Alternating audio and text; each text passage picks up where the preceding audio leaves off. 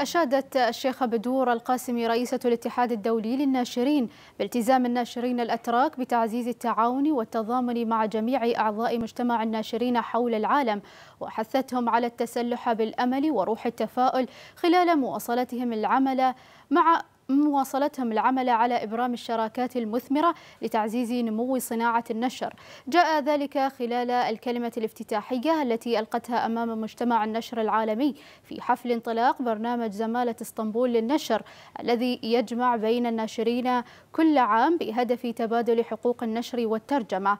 وناقشت الشيخة بدور القاسمي النمو الذي شهده البرنامج والمكانة التي وصل إليها مشيرة إلى أن آليات التعاون بين المعنيين المعنيين بصناعة النشر التركية والناشرين والجمعيات المتخصصة بقطاع صناعة الكتاب في جميع أنحاء العالم.